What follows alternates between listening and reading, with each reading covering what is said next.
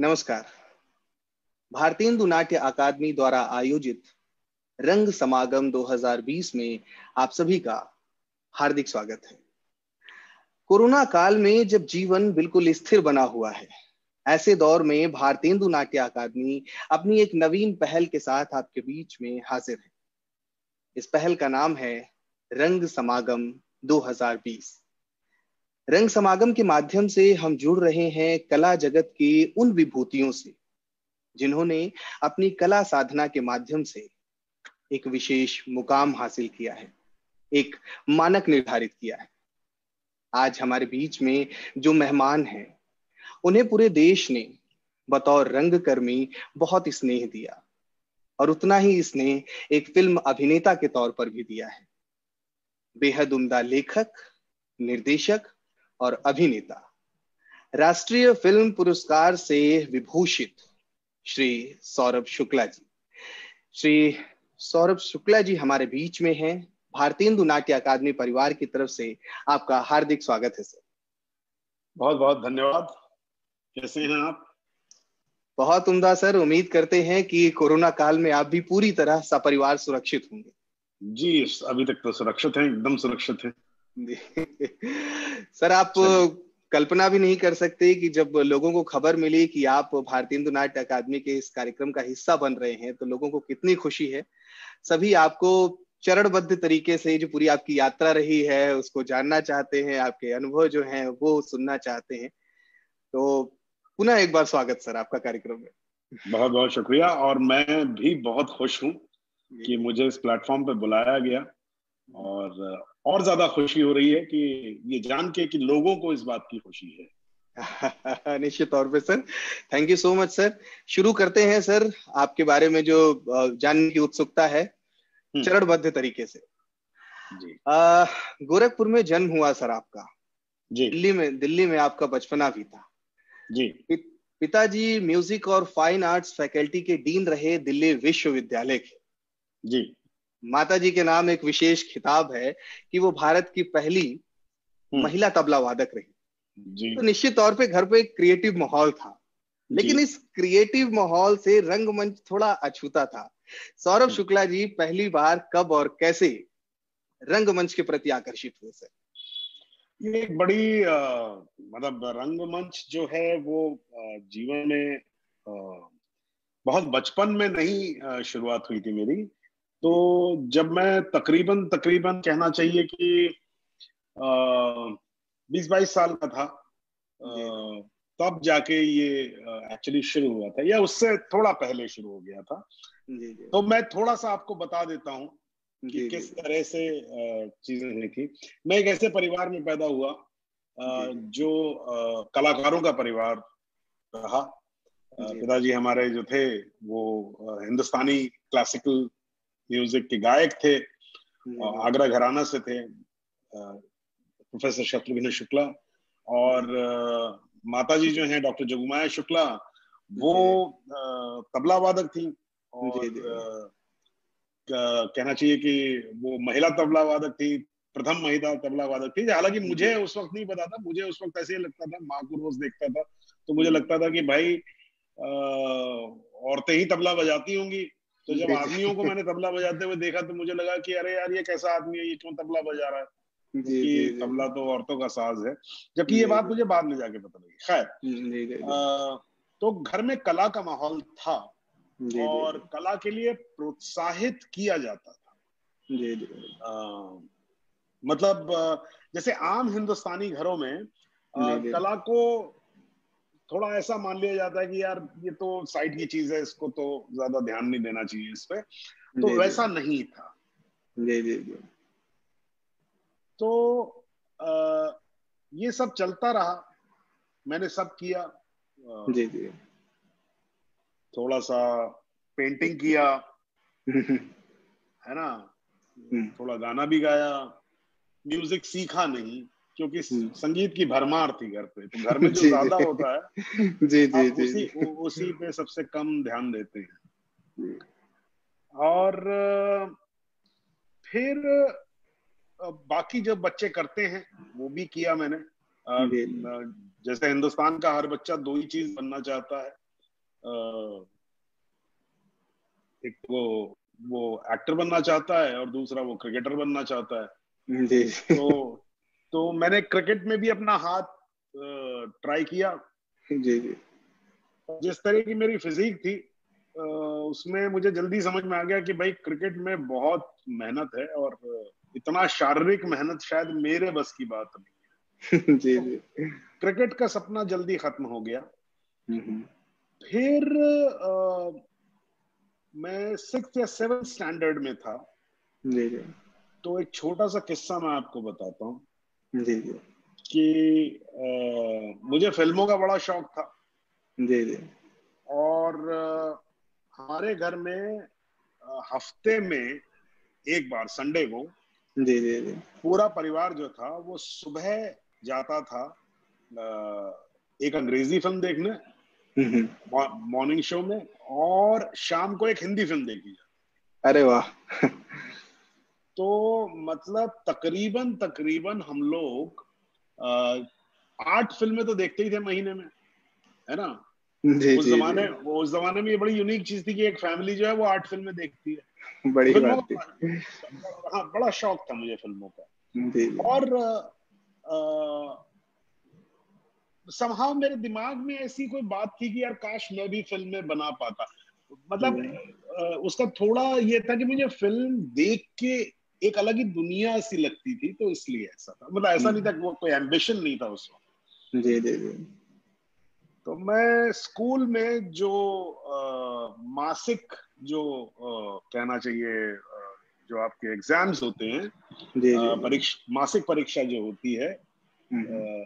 वो हुई हमारे स्कूल में हिंदी की उसमें आया हम्म। कि मेरा सपना करके एक ऐसे हम्म। लिखने के लिए आया।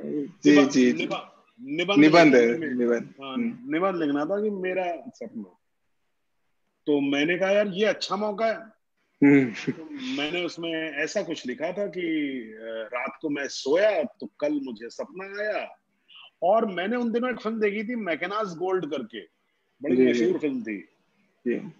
तो उसका पहला सीन जो है कि रेगिस्तान है और मैंने उसमें लिखा कि रेगिस्तान में हवा चल रही है और दूर एक घोड़ा है और घोड़े पे एक आदमी जो है जिसके जिसने हैट पहन रखी है और बंदूक है उसके पास और ऐसे ऐसे करके वो पूरा पहला सीन जो है जी जी। लिख दिया। तो सैटरडे को हुआ था ये शायद या फ्राइडे को हुआ था और मंडे मंडे को आ, मुझे बड़ी उम्मीद थी कि मतलब मास्टर जी खुश हो जाएँगे कि यार एक तो लड़का है जिसने कुछ क्योंकि सब वही नाट वही लिखते थे। जी जी। मे, मेरा सपना है कि मेरा भारत महान बने या मेरा सपना है मैं जवाहरलाल नेहरू बनना चाहता हूँ या मेरा सपना है ना आदर्श मैं गौतम बुद्ध बनना चाहता हूँ या श्रवण कुमार बनना चाहता हूँ यही सब मेरा सपना में लिखते थे लोग। जी जी। तो मैंने कहा मास्टर जी तो खुश हो जाएँगे कि यार ये आया इसने कुछ एक नई चीज़ लिखी है। जी जी। तो मैं बड़ा खुश खुश पहुँचा और क्लास शुरू हुई। तो मास्टर साहब ने मेरे को बुलाया, बोले, आओ। तो मैंने कहा, ये तो ये हुई ना बात? तो उन्होंने खड़ा किया और पूरी क्लास के सामने उन्होंने कहा कि देखो भाई, इनको ऐसे सपने आते और मेरे तो काटो तो खून नहीं। तो मैं तो बहुत परेशान। तो खैर मेरा दिल बड़ा टूट गया मेरा। खैर, मैं घर वापस आया। तो हमारे पिताजी ने पूछा कि भाई, क्या हुआ? तुम्हारा मुँह क्यों लटका हुआ तो मैंने बताया कि क्या क्या हुआ दिन में। तो उन्होंने सुना बोले सुनो तुम अच्छा लिखते हो। और ऐसा कोई भी सपना है तुम घर पे लिखो। स्कूल में मत लिखना। क्या बात। तुम घर पे लिखो जितना लिखना है तुमको। जी। तो फिर मेरी राइटिंग की शुरुआत हुई। जी। और ये एक लंबा कहना चाहिए सिक्स सेवन स्टैंडर्ड से लेके और जब तक मैं कॉलेज में आया हम्म।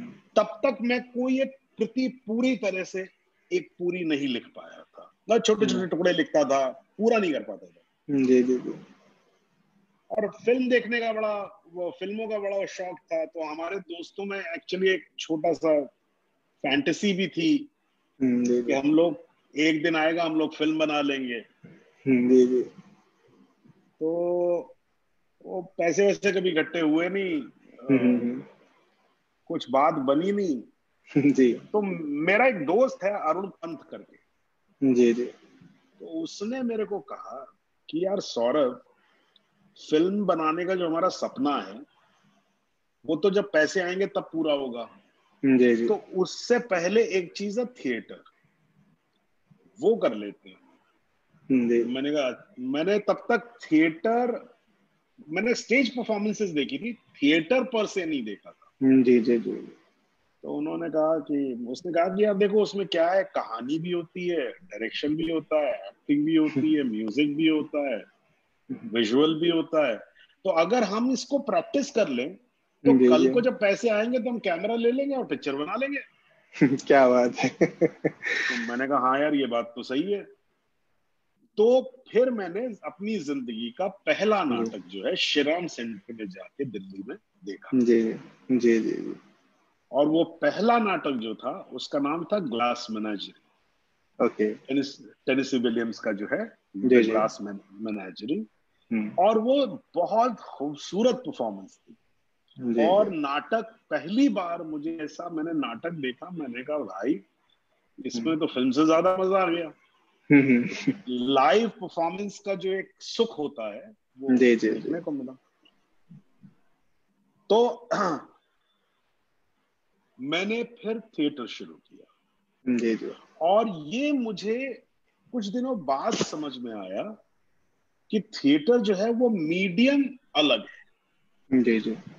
उसकी अपनी खूबसूरती है और फिर एक लंबे समय तक आ, कुछ कहना चाहिए तकरीबन तकरीबन दिल्ली में आठ दस साल जी, जी, जी. मैंने जम के थिएटर किया हम्म। और फिर इत्तेफाकन में मुंबई आ गया और जी, जी. जो मेरा बचपन का सपना था वो पूरा हो गया सर एक आपका नाटक view from the bridge Arthur Miller साहब का। ऐसा कहते हैं कि उस नाटक ने आपको दिल्ली में एक सशक्त अभिनेता के तौर पे एक रंगकर्मी के तौर पे स्थापित किया। वहाँ की स्थानीय मीडिया ने इस नाटक को बहुत उम्दा कवर किया और आपके अभिनय की बड़ी प्रशंसा हुई। तो a view from the bridge इसके बारे में सर कुछ बताइए। ये कैसे गेम चेंजर हुआ नाटक की दुनिया में आपके लिए? तो आ, मैंने आ, मैंने मैं कॉलेज के लेवल पे मैंने शुरू किया था जैसे मैंने आपको बताया नाटक। मेरा पहला नाटक जो बिल्कुल पहला नाटक था आ, मैं थोड़ा सा यहाँ पर बैकग्राउंड बता देता हूँ आपको कि मैं एक्टर कभी नहीं बनना चाहता था। जी. तो मुझे एक्टिंग में कोई शौक नहीं था कोई उसमें कोई इंटरेस्ट नहीं था। हम्म। तो मैं डायरेक्ट करना चाहता था। तो जब मैं पहला नाटक करने जा रहा था तो मैं नाटक समझ नहीं पाया। मैं पढ़ना पढ़ना शब्द शुरू किया मैंने और इत्तेफाक से अच्छे नाटक नहीं पढ़ पाया था शुरुआत में अगर आप दिल्ली से वाकिफ है तो लाल किला एक जगह है। तो लाल किले के बाहर जो बाज़ार लगता है वहाँ पर जो नाटक मिलते हैं जैसे दिल का डॉक्टर या इस टाइप का कोई नाटक था जो हम्म। मतलब कुछ पचास या पच्चीस पन्ने का कोई नाटक था। जी जी वो मैं ले आया वो मेरी समझ में ही नहीं आया। जी जी जी। तो जब वो समझ में नहीं आया तो मैंने कहा यार मैं नाटक कैसे करूँगा? तो मैंने कहा यार लिख ही लेते हैं इसको। हम्म। तो इस प्रकार मैंने नाटक पहला नाटक जो किया अपना वो लिखा। जी जी। उसका नाम था सब चलता है। जी उसके उसके बाद में आ, वो नाटक बहुत उसकी बहुत प्रशंसा हुई स्टूडेंट्स में और यूनिवर्सिटी लेवल पर। तो मैं यूनिवर्सिटी में एक दो साल नाटक करता रहा। फिर मुझे मौका मिला मंडी हाउस में साक्षी एक ग्रुप था। उसमें आ, मुझे पहला मैं कहना चाहूँगा जो प्रोफेशनल नाटक है पहला प्रोफेशनल नाटक मुझे करने का मौका मिला वो था बल्लभपुर की रूप कथा। जी जी। बादल सरकार का। हम्म, हम्म। और ज्ञानेश मिश्रा अब बेचारे गुजर गए बहुत अच्छे एक्टर थे। उन्होंने डायरेक्ट किया था। और मैं जब वहाँ पर मैं पहले दिन रिहर्सल पे पहुँचा तो ज्ञानेश मुझे मैंने पीस किया जो भी मुझे दिया गया था। ज्ञानेश एक्चुअली फिजिकली हँसते हँसते गिर गया। तो मुझे मुझे बड़ा ढाढ़स मिला। मुझे मुझे लगा यार कुछ तो अच्छा किया होगा मैंने तभी तो इतनी और उसने कहा यार तुम कमाल हो तुम कमाल हो। उसने बहुत तारीफ़ की मेरी। तो मैं साक्षी मैंने ज्वाइन कर लिया और ये बात है सन चौरासी की। जी जी। 1984 की।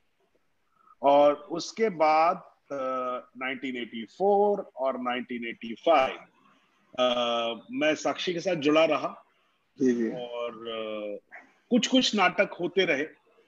बल्लभपुर की बहुत सारे शो हुए। है ना? जी जी जी जी जी। और फिर कृष्णकांत जो कि उसी के एक सीनियर मेंबर थे उस ग्रुप के उन्होंने मुझे कहा कि भाई मैं तुझे मेन रोल देना चाहता हूँ। तो मैं तो मेन हम्म। रोल सुन के ही खुश हो गया था। मैंने कहा अच्छी बात है। तो मैंने कहा किसका नाटक है? तो बोले व्यू फ्रॉम द ब्रिज है नाटक का नाम। मैंने कहा किसका लिखा हुआ है? बोले आर्थर हम्म। मिलर का। जी। आर्थर मिलर का नाम मैंने सुना तो मैं पागल हो गया। क्योंकि आर्थर मिलर का जो मैंने ऑल माय सन्स अपने कॉलेज में पढ़ा था। जी जी। और मैं मतलब बता नहीं सकता जब मैंने वो नाटक पढ़ा था तो मैं वो मेरे लिए नाटक जैसा नहीं था।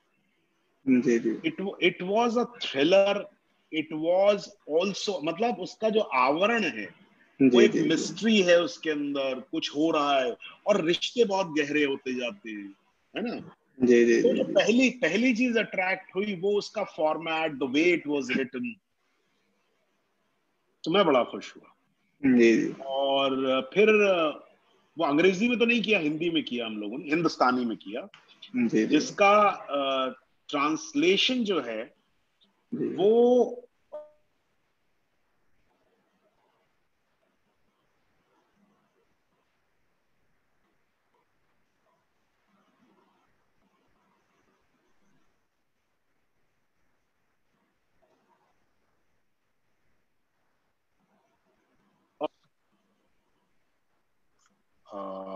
ओके okay, अभी मैं किधर गया?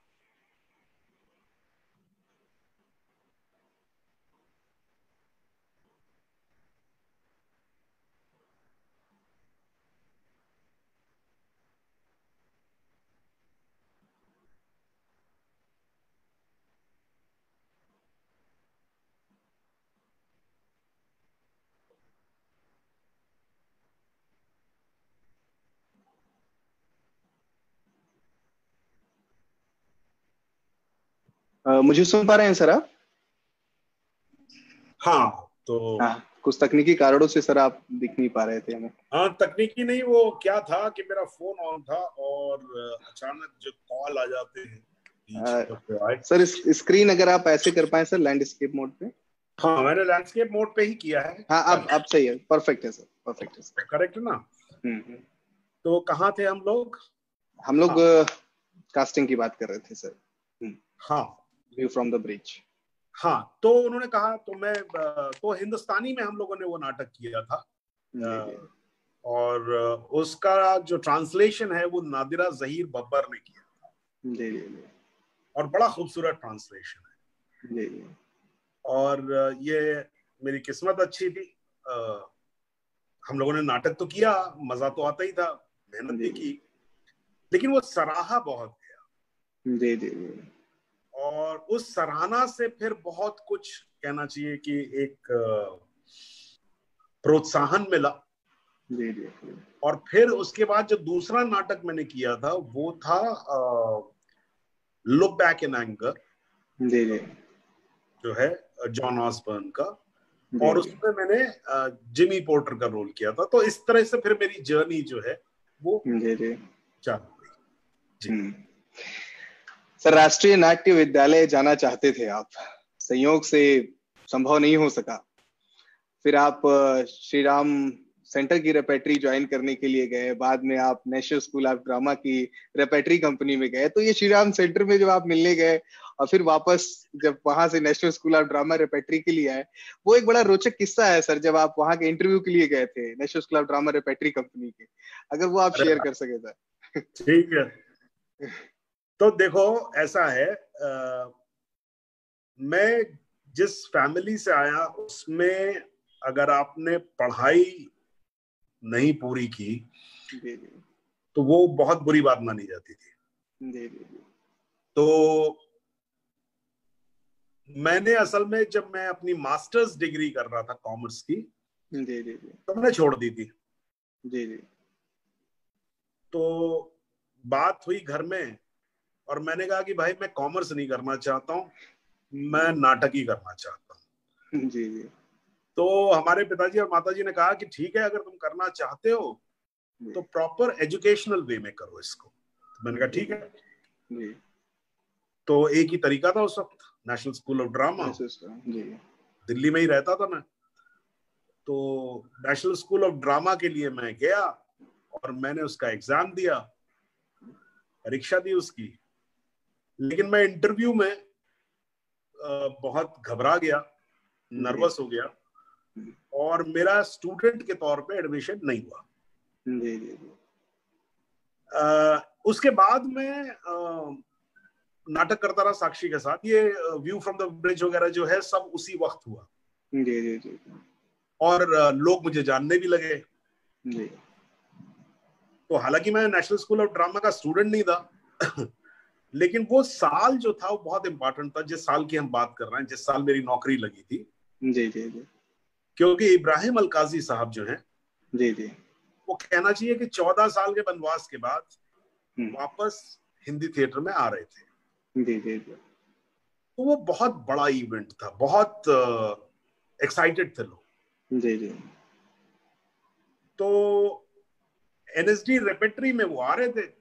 और एनएसडी रेपेटरी में आ, सब बहुत लोगों ने अप्लाई किया। कुछ पाँच हज़ार एप्लीकेशन गई थी उस साल। जी जी जी।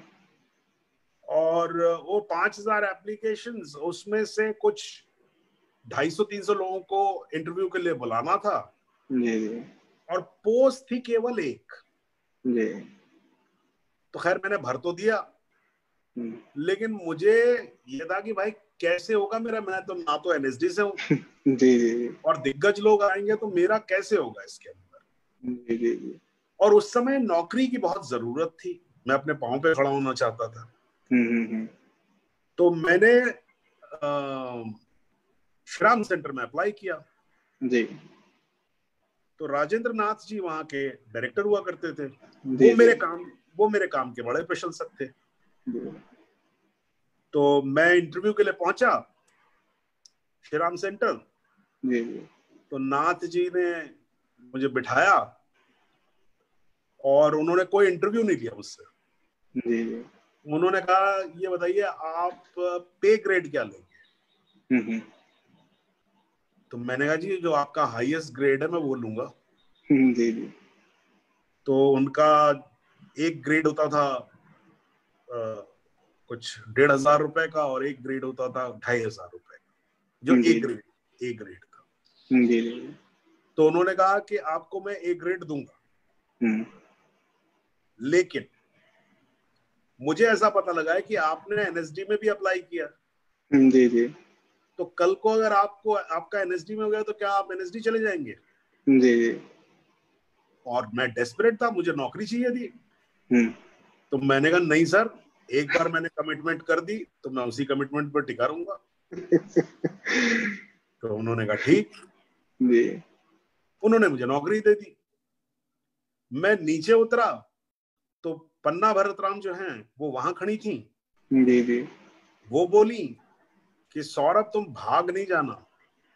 कल को अगर एनएसडी में हो तो। मैंने कहा नहीं मैडम मैं बिल्कुल नहीं आऊँगा। और मैं अब किस्मत देखिए इधर नौकरी मिली और मैं श्रीराम सेंटर से बाहर निकला तो मेरा एक दोस्त दौड़ता हुआ आया गले लगा लिया उसने मुझे। बोला अरे सौरभ तेरा ढाई सौ लोगों में नाम आ गया यार। तू इंटरव्यू के लिए सिलेक्ट हो गया। क्या बात है। अब मैं अभी अभी कमिट करके आया था।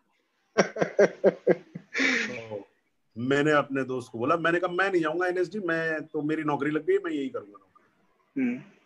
तो मेरे दोस्तों ने मुझे अगले वो दस पंद्रह दिन बाद था इंटरव्यू एनएसडी का। जी जी। तो बोले अरे यार एक बार जाओ तो सही। एक्सपीरियंस तो करके आओ। जी जी। तो मन बड़ा क्या करूँ क्या करूँ क्या करूँ? हम्म। फिर मैंने कहा यार किसे पता लगेगा? चुपचाप चलो इंटरव्यू दे के आ जाओ देखेंगे। जी जी। तो मैं एनएसडी पहुँच गया पंद्रह दिन बाद। हम्म। तो वहाँ का जलवाई कुछ और था। जी जी। वहाँ मतलब जो रेपेटरी कंपनी पूरा फ्लोर था उसका रविंद्र भवन में। जी जी। और लोग लोग बहुत ढाई सौ लोग थे वहाँ पर। सब इंटरव्यू के लिए आए हुए थे। हम्म। और मैंने देखा मैंने कहा ये जलवा है। ये हम्म। बहुत अच्छा है। ये हुई ना बात।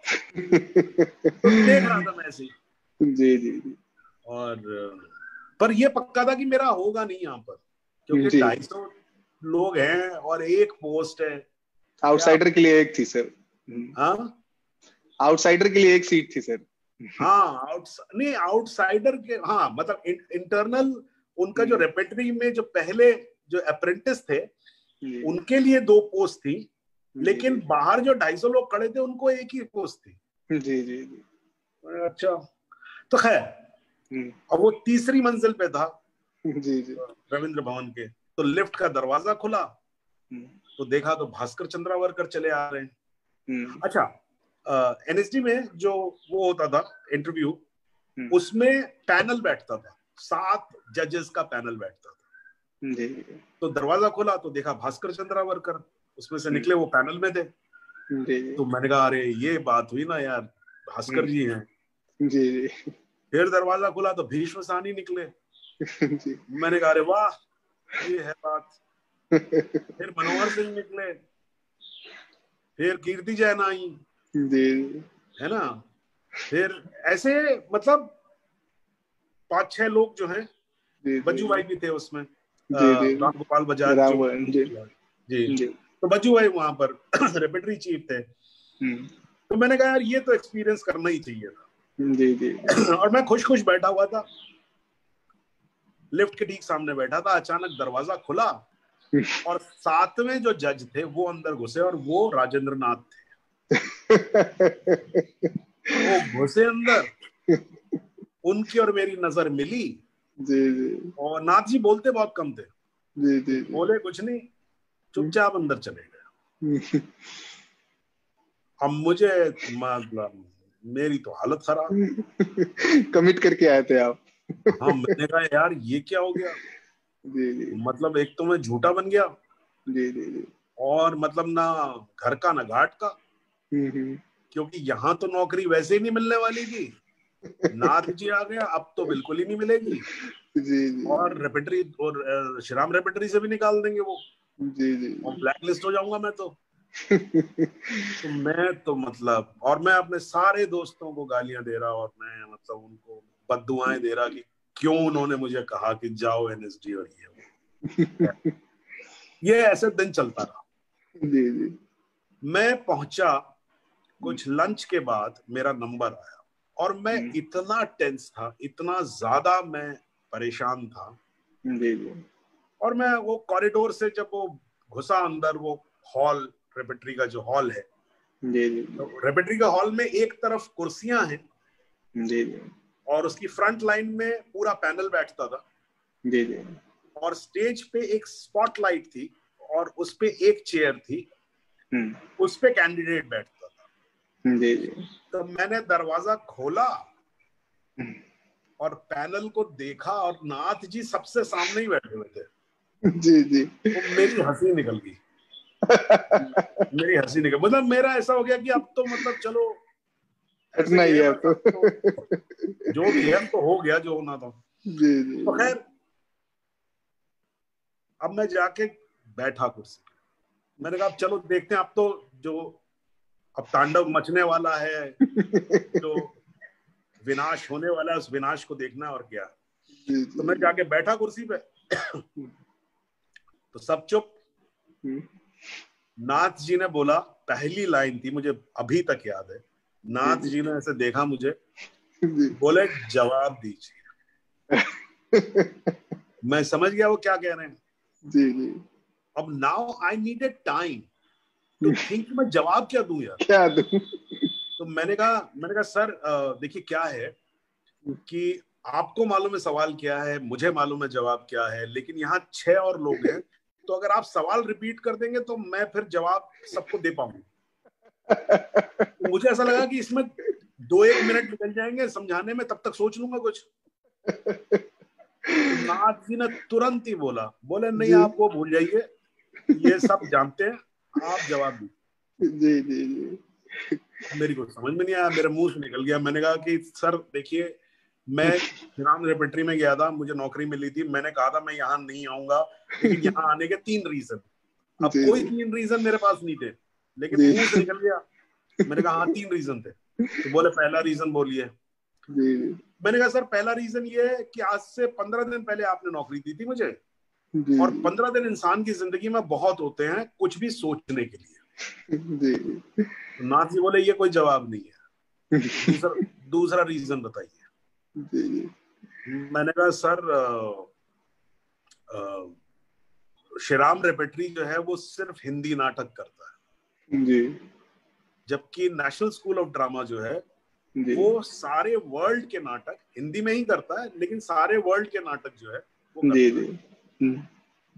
तो मुझे लगा कि वर्ल्ड का जो नाटक का जो दुनिया है उससे मैं जुड़ पाऊँगा तो। जी जी। तो नाथ जी बोले ये भी कोई जवाब नहीं है। तीसरा कारण बताइए। हाँ, तीसरा कारण बताइए। जी जी। अब मेरे पास कोई रास्ता नहीं था। तो मैंने कहा सर तीसरा कारण ये है कि आपके यहाँ ढाई हज़ार मिल रहे थे यहाँ पर चार हज़ार रुपए मिले। बस इतना सुनना था और पूरा पैनल जो था वो मार के हंसा। और उसके बाद नाथ जी ने ये बोला था। सबको बोला था। हम्म। उन्होंने कहा था कि मेरे हिसाब से अगर कोई डिजर्विंग कैंडिडेट है इस पोस्ट के लिए तो वो ये आदमी है और मुझे इसका इंटरव्यू लेने की ज़रूरत नहीं है। क्या बात है सर। और उसके बाद 45 मिनट चला था मेरा इंटरव्यू लेकिन उस 45 मिनट में मुझसे कुछ भी एक्टिंग के बारे में या परफॉर्मेंस कर करके दिखाने का कुछ नहीं कहा गया। सिर्फ़ इधर उधर की बातें शादी हो गई आपकी क्या करेंगे? मैंने कहा सर आप लोग नौकरी दे देंगे तो शादी भी कर लूँगा। तो इस तरह की बातें हुई और फिर of those five thousand application I got that job क्या बात है सर। बहुत बहुत ही रोचक ये ये यात्रा तो बहुत ही रोचक रही सर। जी। आ, सर एनएसडी रिपेट्री का ही प्ले था। जहाँ तक मैं हम्म। पढ़ रहा था सर आपके बारे में खूबसूरत बहू नाग बोरेशी का लिखा हुआ। जी। उस नाटक ने आपके जीवन में एक बहुत महत्वपूर्ण बदलाव लाया। शेखर कपूर शेखर कपूर साहब उस नाटक को देखने आए हुए थे उनकी नज़र आप पे पड़ी और वहाँ से एक हम्म। नई यात्रा की शुरुआत हुई। तो हम्म। ऐसा क्या ऐसा क्या विशेष किया था सर उस नाटक में आपने कि शेखर कपूर साहब आपके मुरीद हो गए थे? जो जो अंग्रेज़ी की कहावत है दोस्त कि beauty lies in the eyes of the beholder यानी कि खूबसूरती देखने वाले की आँख में होती है। तो मैंने क्या किया था मुझे मालूम नहीं लेकिन हाँ शेखर कपूर साहब की आँखों में वो खूबसूरती थी कि उन्होंने मुझे देख के उसमें से कास्ट किया। इसके पीछे भी एक बड़ी इंटरेस्टिंग कहानी है। हालाँकि सबको अपनी कहानियाँ बहुत इंटरेस्टिंग लगती हैं। जी जी। तो मुझे भी अपनी हर बात ही इंटरेस्टिंग लगती है। तो खैर मैं आपको थोड़ा सा बैकग्राउंड देता हूँ। जी जी। तो शेखर कपूर साहब जो थे वो बैंडेड क्वीन बना रहे थे और वो उन्होंने सीमा को कास्ट कर लिया था। जी। और वो दिल्ली में कास्टिंग कर रहे थे। जी। उस दौरान आ, मेरे पास तीन ऑफर्स आए। जी जी। जिसमें से एक ऑफ़र था इंग्लैंड का ऑफ़र था वो। आ, हम्म, हम्म। एक टेलीविज़न सीरीज़ बन रही थी जिसका नाम था बुद्धा ऑफ़ सबरबिया। पाकिस्तान के एक बहुत बड़े राइटर हैं हनीफ कुरैशी जी, जी. उनके नॉवल पे बेस्ड एक सीरीज़ बन रही थी बीबीसी की सीरीज़ थी। जी जी तो मैंने उसका स्क्रीन टेस्ट दिया था और वो लोग बहुत खुश थे और उन्होंने मुझसे सारी बात कर दी थी कि आप इंग्लैंड में आके रहेंगे और हम्म, आपको दो साल इंग्लैंड में रहना पड़ेगा। ये सब बात हो गई थी। जी जी। उसी वक्त बर्टोलूची एक फ़िल्म बना रहे थे। लिटिल बुद्धा। जी जी। तो उसमें भी मेरे तीन चार स्क्रीन टेस्ट हो चुके थे और बहुत उम्मीद थी कि मुझे वो मिल जाएगा। जी जी। और तीसरा था कि दूरदर्शन में बहुत दिनों बाद सीरीज़ खुली थी सीरियल्स हम्म। खुले थे। जी जी। जिसमें मैंने अपने चार प्रोजेक्ट जमा किए थे। और चारों जो थे वो टॉप कैटेगरी में पास हो गए। अरे वाह। तो अब शेखर कपूर साहब जो थे वो एक दिन रिपेटरी हम्म। में मुझसे मिले। जी जी। और बात बात थी तो मैं शेखर का बहुत बड़ा फ़ैन था। जी जी। उनकी मासूम मुझे बहुत पसंद थी। जी। तो वो देखते रहे मेरी तरफ़। हम्म। तो बोले तुम क्या कर रहे हो आजकल? हम्म। तो बज्जू भाई को सब कुछ मालूम था मेरे बारे में। तो बज्जू भाई ने बड़े प्राइड से कहा उन्होंने कहा अरे ये तो इंग्लैंड जा रहा है।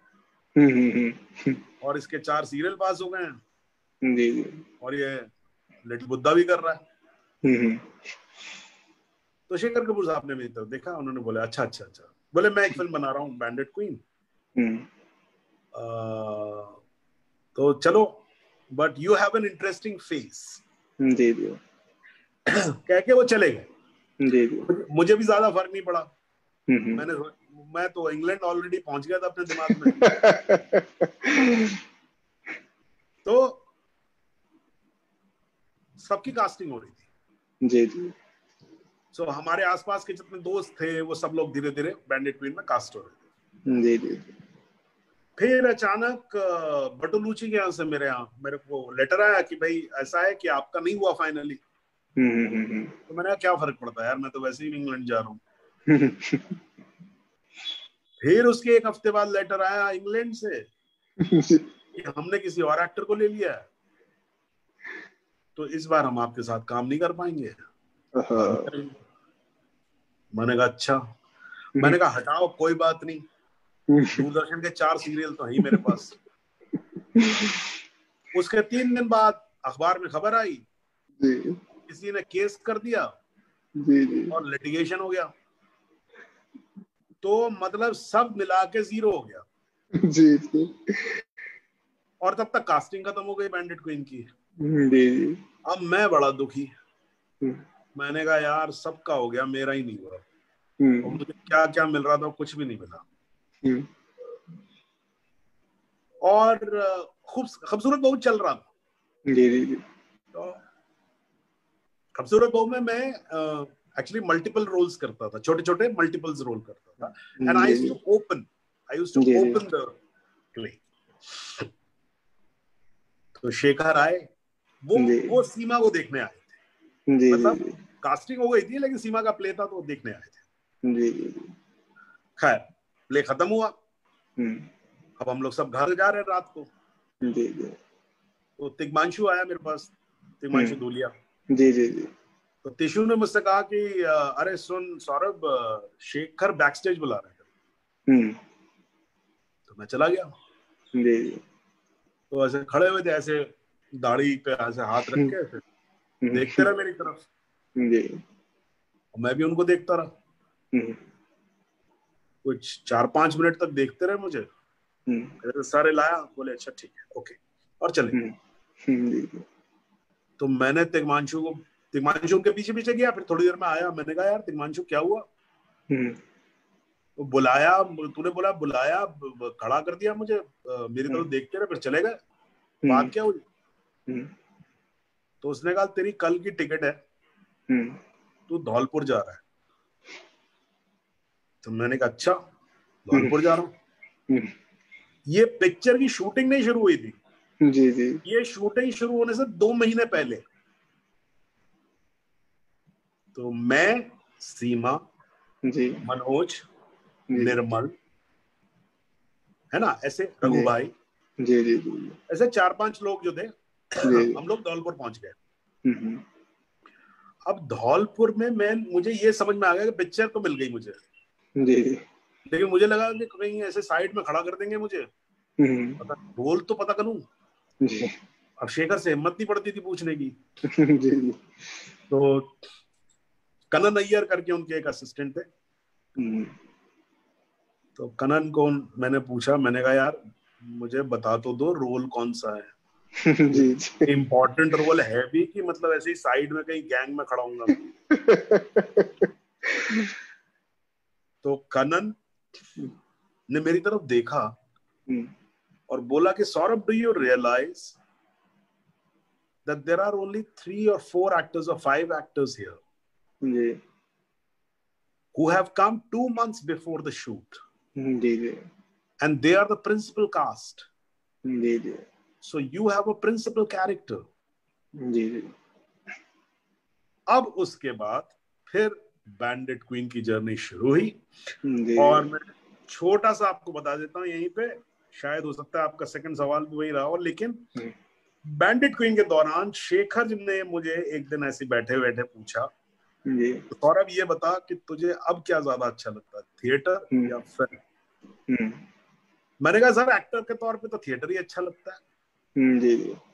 लेकिन ये ज़रूर है कि फ़िल्म मेरा बहुत सपना था और मैं फ़िल्म में एक्टिंग एक्टिंग का शौक नहीं है मुझे। हम्म, हम्म, मुझे फ़िल्म बनानी है तो अगर मैं बॉम्बे आऊँ हम्म, तब बॉम्बे ही कहा जाता था मुंबई नहीं कहा जाता था। जी जी जी कहना तो मैं आऊँ तो मुझे अपना असिस्टेंट रख लेंगे आप। हम्म, तो हंसने लगे। बोले हम्म। अरे नहीं नहीं कोई बात नहीं असिस्टेंट असिस्टेंट छोड़ मैं तुझे एज एन एक्टर बुलाऊँगा। हम्म, जी जी। तो मुझे लगा ये तो मतलब ऐसे ही है। ऐसे ही है। हाँ, हाँ, but in two months time or three months time he called me to Bombay ji ji. And मैं अपना पहला काम जो है उसके हम्म। साथ मुंबई आ गया था। हम्म, जी जी जी। ये है कहानी सर इंटरेस्टिंग ही है ना? जी जी। हाँ क्योंकि मुझे तो बहुत इंटरेस्टिंग लगती है। नहीं बहुत ही इंटरेस्टिंग है सर ये तो आपकी जितनी कहानियाँ हैं चाहे वो एनएसडी रेपेट्री में जाना हो या पहली फ़िल्म हो दोनों की यात्रा बड़ी रोचक है। एक समय हम्म। आपके हाथ में बहुत कुछ होता है दूसरे पर लगता है कि सब कुछ छूट रहा है और फिर कुछ ना कुछ उमदा आ जाता है। तो अ, सर उन्नीस का वो दौर था। जी। जब अ, जब आपने एक बहुत ही उम्दा फ़िल्म का केस का स्क्रीन प्ले भी लिखा आप स्क्रीन पर भी आए और एक ऐसा सेंसेशन हो गया पूरे भारत में कल्लू मामा के रूप में हम्म। कि मतलब आज भी इतने वर्षों बाद मतलब मैं कहूँगा लगभग ढाई दशक होने को आ रहे हैं लेकिन आज भी जब आपका चेहरा पहली बार कोई देखता है तो पहली छवि जो बनती है वो कल्लू मामा की बनती तो सत्या ने क्या सर लगता है कि जीवन बदल दिया एक नई परिभाषा दी बतौर अभिनेता? बिल्कुल दी। लेकिन मैं तुम्हें एक चीज़ बताता हूँ। मैं अपने आप को बहुत ही भाग्यशाली मानता हूँ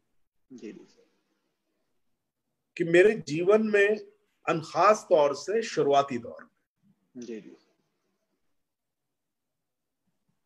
मुझे वो फ़िल्में ऑफ़र हुई और वो फ़िल्म मेकर्स ने मुझे पसंद किया। जिन्होंने मुझे वो एक्टर बनाया जो आज मैं हूँ। मेरी सोच मेरा नज़रिया ये उन फ़िल्मों की वजह से तो मेरे ख्याल से इससे बेटर और कुछ नहीं हो सकता था कि मेरे जीवन की पहली फ़िल्म जो है वो बैंडेड क्वीन जी जी निश्चित तौर पर उसमें बहुत कुछ समझने को जानने को बहुत कुछ मिला। मेरी दूसरी फ़िल्म इस रात की सुबह नहीं जी जी। जो सुधीर मिश्रा साहब ने बनाई थी उसमें भी बहुत बहुत कुछ सीखने को मिला और बहुत अच्छा साथ रहा। और फिर सत्या। और सत्या जब बननी शुरू हुई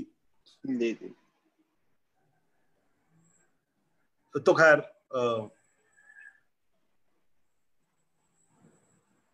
इसमें भी एक छोटी सी कहानी वो भी बता देता हूँ। जी बिल्कुल सर। कि मुझे अनुराग कश्यप का फ़ोन आया। जी जी। और अनुराग असिस्ट कर रहे थे रामू। को। जी। जी और मैं अनुराग मेरे काम के बारे में थोड़ा जानते थे। जी जी। तो उन्होंने बोला कि सौरभ सर आपको कल रामू ने बताया। हम्म, तो मैंने कहा अच्छा। हम्म, मैं वापस आया तो रामू अच्छे फ़िल्म मेकर तो हैं ही। जी जी जी। हर एक्टर की तरह मैं भी काम करना चाहता था उनके साथ। जी जी।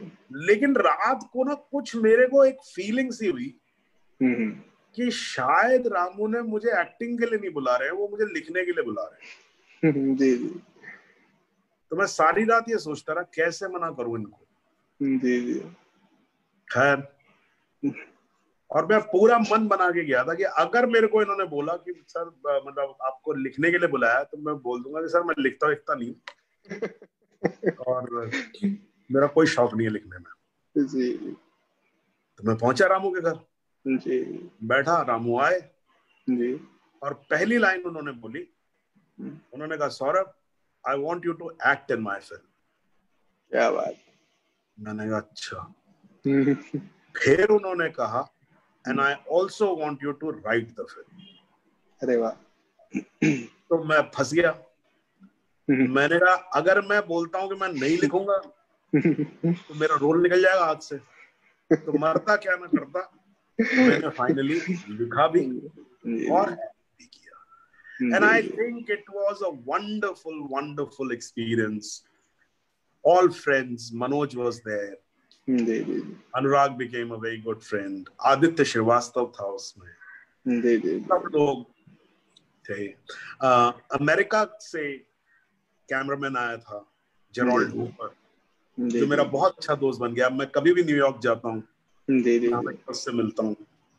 और बहुत बहुत बहुत बहुत मज़ा आया उस फ़िल्म में। एंड सबसे अच्छी बात यह है कि after the film was made nobody believed i mean we believed in the film of course mm. but outside nobody believed in the film Indeed. but the day it released it became what it is निश्चित तौर पे sir sir इस film में आपने जो screen play लिखा उसके लिए स्टार स्क्रीन अवार्ड भी मिला आपको हाँ करेक्ट तो ये सर पहली फ़िल्म थी जिसके लिए आपने स्क्रीन प्ले लिखा था और पहली फ़िल्म में स्टार स्क्रीन अवार्ड? हाँ।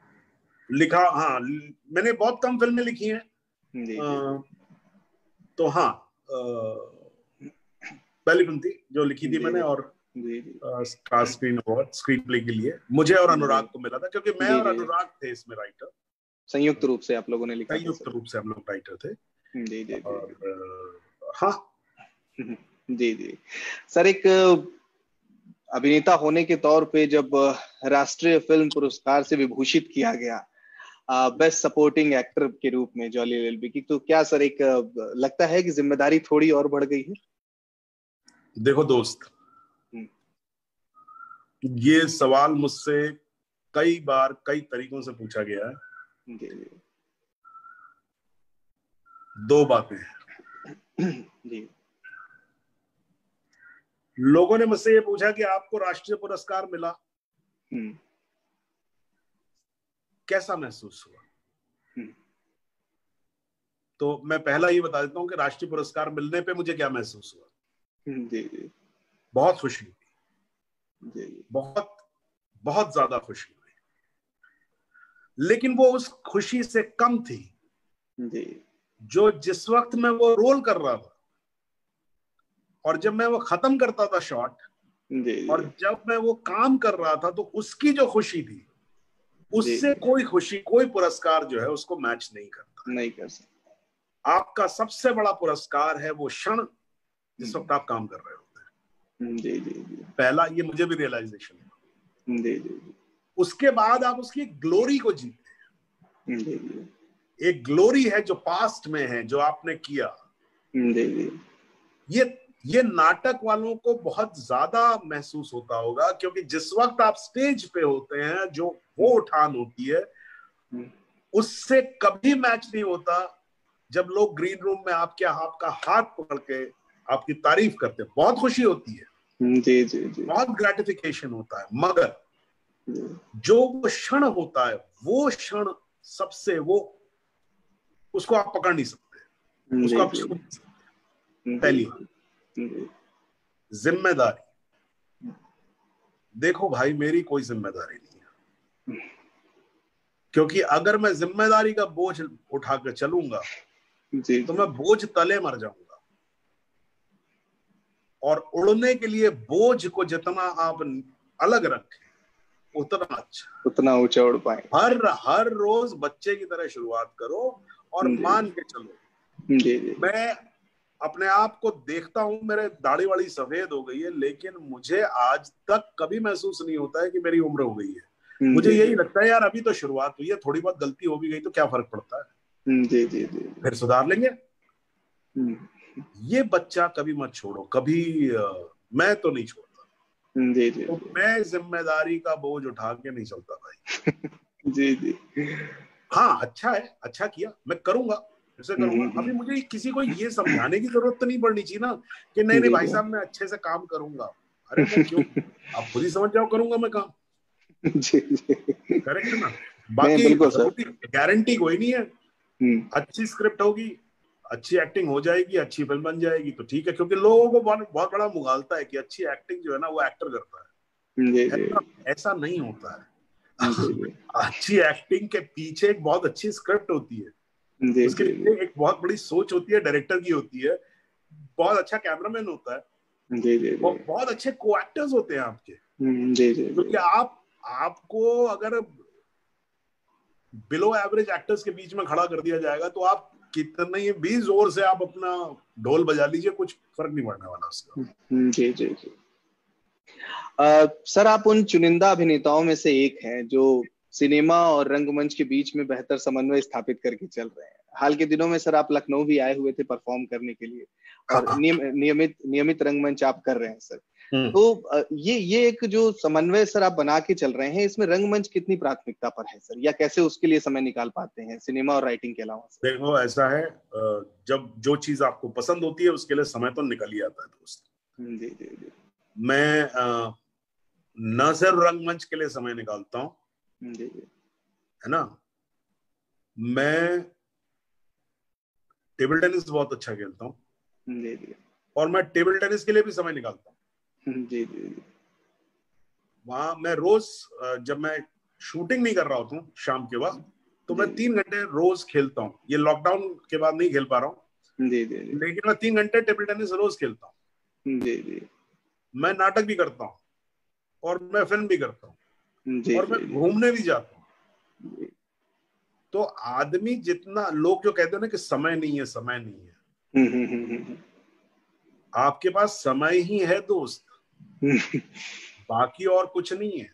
जी जी जी। तो समय का जितना सदुपयोग आप कर लेंगे उतना अच्छा है। तो मैं तो आ, मुझे इसमें लोग पूछते हैं आप समय कैसे निकाल पाते? कैसे निकाल पाता हूँ मतलब क्या? भाई सुबह उठता हूँ। दिनचर्या के बाद मतलब शुरू होती है दिनचर्या आप उसके बाद नाश्ता वाश्ता करते हैं फिर आप कुछ तो करेंगे या तो फिर फ़िल्म की शूटिंग करेंगे नहीं तो आप लिखेंगे नहीं तो आप फ़िल्म देखेंगे नहीं तो आप घूमेंगे नाटक करेंगे आप अच्छा खाना खाएँगे खाना बनाने का मन होगा तो खाना बनाएँगे। तो ये तो सब नेचुरल चीज़ें हैं इसमें इतना बड़ा क्या लोग पूछते हैं कि अरे कैसे अरे कोई मतलब अगर भाई मेरे दो चार पाँच काम अगर अच्छे हो गए तो उसके बाद ये थोड़ी कि मेरे पास समय की कमी हो जाएगी। घंटे तो उतने ही रहेंगे ना चौबीस। जी जी जी जी। आ, सर हम कार्यक्रम के लगभग आखिरी चरण की ओर बढ़ रहे हैं। भारतीय नाट्य अकेडमी के जो छात्र छात्राएँ हैं सर। जो अभी एक निश्चित तौर पे एक नई पारी की शुरुआत करेंगे जो सेकेंड ईयर में है विशेष रूप से वो इस साल पास आउट हो रहे हैं। सर उन्हें हम्म। अगर उन्हें अगर आप कुछ विशेष सुझाव देना चाहें आगे की पारी के लिए तो वो बहुत उन्हें बहुत ऊर्जा मिलेगी सर हाँ बिल्कुल देखो पहली बात तो ये क्या है कि ऐसे सुझाव जो होते हैं जो एक तरफा होते हैं वो थोड़ा ज्ञान की तरह हो जाते हैं कि मतलब मैं आपको जैसा कोई ज्ञान दे रहा हूँ तो मैं तो ज्ञान दे नहीं सकता आपको।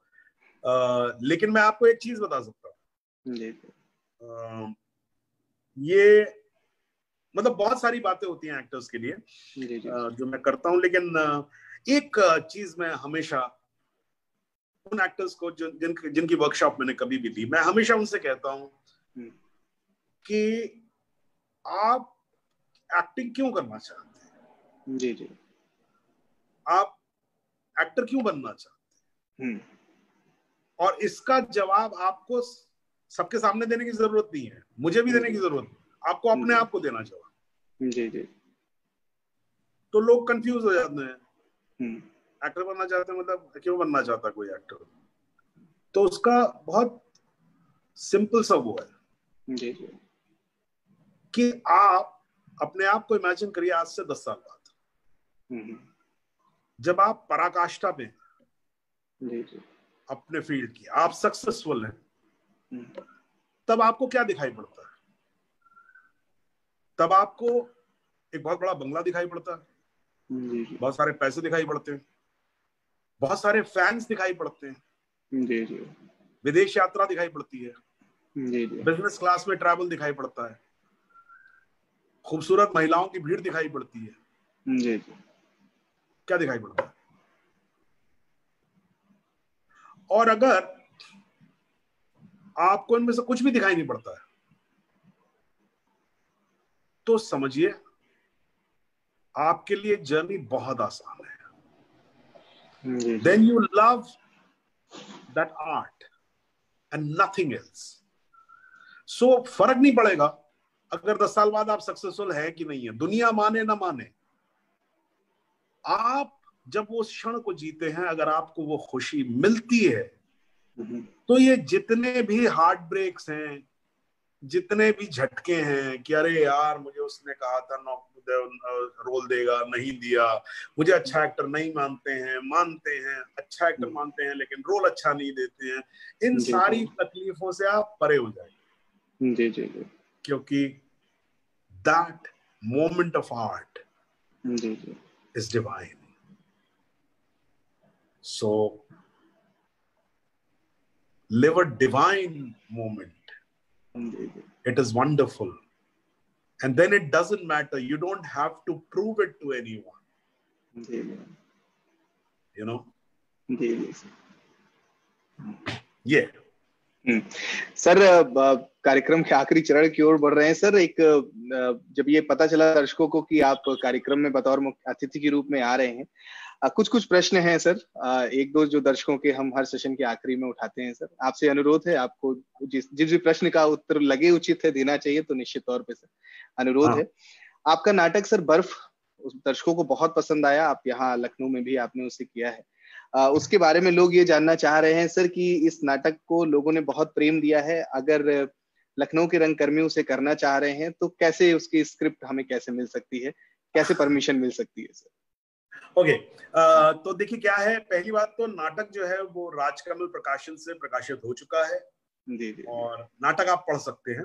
जी जी। परमिशन के लिए आपको मुझसे परमिशन लेनी पड़ेगी। और आ, मुझे माफ़ कीजिएगा लेकिन इस वक्त परमिशन मैं दे नहीं पाऊँगा। क्योंकि इस वक्त क्या है हम्म। बर्फ़ जो है बर्फ़ एक्चुअली लिखी गई थी फ़िल्म के लिए। जी जी जी उसके बाद नाटक को नाटक में कन्वर्ट किया गया और उसकी बुक छपी। जी जी जी। आ, तो अब उसकी फ़िल्म जो है हम्म। आ, और दुआ करिए कि जल्दी ही वो फ़िल्म जो है वो फ्लोर पे चली जाए। अभी तो सब लॉकडाउन है। लेकिन वो फ़िल्म के तौर पर काफ़ी आगे बढ़ चुकी है। जी जी तो जी, अब ये मेरे हाथ में नहीं है क्योंकि जिस हम्म। वक्त हम आ, फ़िल्म का कॉन्ट्रैक्ट करते हैं उस वक्त उसकी कहानी और उसका जो पूरी स्क्रिप्ट है वो हम्म। उस पर पूरा अधिकार जो है वो प्रोड्यूसर का होता है। और वो, वो राइट इस वक्त मेरे पास है नहीं तो मैं हम्म। इसके राइट्स आपको thank you so much sir पढ़िए ज़रूर। जी। जी और पब्लिक शो करना मुश्किल है लेकिन हाँ हम्म। आप लोग आपस में इसको एज एन एक्सरसाइज करना चाहें ज़रूर करिए। जी। लखनऊ के एक रंगकर्मी का प्रश्न है सर कि जब हम थिएटर करते हैं तो उसका एक तरीका दूसरा होता है लेकिन जब कैमरे के सामने जाते हैं तो हम थोड़ा सा बंध जाते हैं। तो इन दोनों के बीच में समन्वय हम कैसे स्थापित करें? आ, पहली बात तो ये समझ लीजिए कि एक्टर का काम एक्टिंग करना है। जी जी। बाकी जो कुछ भी होता है जी, जी। वो मीडियम करता है। जी जी जी। तो आ, ये सवाल मेरे से अक्सर पूछा गया है। लोग पूछते हैं कि साहब थिएटर एक्टिंग में और फ़िल्म एक्टिंग में क्या डिफरेंस होता है? जी जी जी। अरे एक्टिंग एक्टिंग है। डिफरेंस क्या होगा? कोई डिफरेंस नहीं है। एक्टिंग है। करिए एक्टिंग अच्छी एक्टिंग हम्म। करेंगे तो अच्छी एक्टिंग होगी बुरी एक्टिंग करेंगे। तो ऐसा नहीं कि स्टेज पे आप कुछ बुरी एक्टिंग जो है अच्छी एक्टिंग हो जाएगी अच्छी एक्टिंग बुरी एक्टिंग हो जाएगी ऐसा नहीं है। जी जी जी। Um, लेकिन इसमें जानने वाली बात यह है जी जी। कि आप सशक्त एक्टर कैसे बने? जी जी। और सशक्त एक्टर बनने के लिए खाली एक्टिंग आइसोलेशन में कुछ नहीं होता है दोस्त। जी जी। आप मीडियम को कितना समझते हैं? जी जी। अगर आप मीडियम समझ गए हम्म। अगर आपको थिएटर स्टेज का मीडियम समझ में आ गया हम्म। तो आप उस मीडियम को यूज़ कर सकते हैं अपनी एक्टिंग स्किल में। हम्म, जी जी जी। वही बात सिनेमा तो हमारी जो इमेजिनेशन जो एक्टर की इमेजिनेशन होती है जी जी जी। वो किस मीडियम में इमेजिन कर रहा है? जी जी ये बहुत इंपॉर्टेंट चीज़ है तो इसलिए मैं हमेशा कहता हूँ कि एक्टिंग करते वक्त या सीखते वक्त एक्टिंग छोड़ के सब करो। पढ़ो डायरेक्शन करो गाने गाओ पेंटिंग देखो लिखो। तब पूर्ण एक्टर बन पाओगे एक्टिंग जो लोग खाली एक्टिंग के चक्कर में उनको लगता है कि एक्टिंग कोई अलग अलग कुछ है ही नहीं एक्टिंग जी जी जी। एक्टिंग इज़ अ वो तो सबका रिफ्लेक्शन है भाई। जी जी जी तो बाकी सब चीज़ें करो। जी। सर एक दीपेंद्र जी हैं उन्होंने एक प्रश्न पूछा है कि आपका अभिनय बिल्कुल एफर्टलेस लगता है ऐसा लगता है कि हमारे बीच का ही कोई व्यक्ति है जो पर्दे पे दिख रहा है। आपका जो कल्लू मामा का किरदार था उससे जुड़ा अगर कोई रोचक किस्सा हो तो प्लीज़ शेयर करें। वो ऐसा लगता है कि हमारे इर्द गिर्द का ही कोई व्यक्ति है। बहुत ही उम्दा अभिनय था उसमें। अरे बड़े किस्से तो बहुत है। मैंने कितने सारे किस्से तो सुना दिए यार। अब मैं और क्या किस्सा सुना लेकिन हाँ बहुत बहुत शुक्रिया। मुझे आ, कभी इस बात का कहना चाहिए? मुझे कॉन्फिडेंस नहीं था। कि मैं क्योंकि मैं कभी एक्टर बनना नहीं चाहता था। जी जी जी। लेकिन लोगों ने मुझे सराहा पसंद किया। जी जी। तब जाके मैंने अपने आप को पसंद करना शुरू कर दिया। मतलब उसमें वैलिडेशन वाली बात नहीं है लेकिन हाँ तब मुझे समझ में आया कि अरे मैं ये भी कर सकता हूँ। और मेरे बहुत अच्छे मित्र सुधीर मिश्रा मुझे हमेशा कहते हैं। हम्म। वो मुझे बहुत अच्छा मानते हैं और बहुत तारीफ़ करते हैं मेरी। तो एक दिन उन्होंने मुझे कहा था कि सौरभ तुम अच्छे एक्टर पता क्यों? जी। क्योंकि तुम्हें एक्टिंग की पढ़ी नहीं है। क्या बात है। बिल्कुल सही है सर। तुम्हें अगर एक्टिंग की पढ़ जाती ना हम्म। तुम अच्छे एक्टर नहीं होते फिर। जी जी। सर सुधीर मिश्रा जी से भी जुड़ा हुआ एक बड़ा रोचक किस्सा है कि उन्होंने आपसे एक बारी एक स्क्रिप्ट लिखने को कही थी और उसमें पूरे 22 साल लग गए सर। मेहरू निशा नाम था उसका। हाँ भाई ऐसे बदनाम नहीं करो मुझे। मैंने बाकायदा उन्होंने मुझे सबसे पहले मुंबई में जो पैसे दिए थे वो सुधीर मिश्रा ने दिए थे मुझे दस हज़ार रुपए दिए थे. और बाईस के अब तो पच्चीस साल हो गए। शुरुआती दिनों में ही दिए थे उन्होंने और हमने स्क्रिप्ट पे बहुत काम भी किया था लेकिन उस वक्त सुधीर वो फ़िल्म नहीं बना पाए। जी जी जी और फिर वो स्क्रिप्ट दोबारा से जो है वो एग्जिस्टेंस हम्म। में आई और फिर मुझे सौभाग्य मिला सुधीर ने फिर मुझे कहा जी जी उसमें काम करने के लिए उसमें मैंने काम किया। जी जी। अभी भी वो फ़िल्म पूरे मकाम पे अपने नहीं पहुँची है लेकिन बहुत खूबसूरत फ़िल्म है और जिस दिन पहुंचेगी बहुत मज़ा आएगा। थैंक यू सर प्रमुख सचिव संस्कृति उत्तर प्रदेश श्री जितेंद्र कुमार जी एवं निदेशक भारतीय नाट्य अकादमी श्री रमेश चंद्र गुप्ता जी का अनुरोध सर आपने स्वीकार किया। आप रंग समागम 2020 का एक इतना महत्वपूर्ण अंग बने। उसके लिए पूरे भारतीय नाट्य अकादमी परिवार की तरफ़ से सर बहुत बहुत धन्यवाद आपका। और रंग समागम जो पहल है सर वो उसकी कोशिश यही थी सर कि आप जैसे कला जगत की जो विभूतियाँ हैं जिन्होंने एक मुकाम हासिल किया है सर उनकी यात्रा से हम रूबरू हो सके। तो बहुत बहुत धन्यवाद सर अपना बहुमूल्य समय देने के लिए। बहुत बहुत धन्यवाद। Thank you so much sir thank you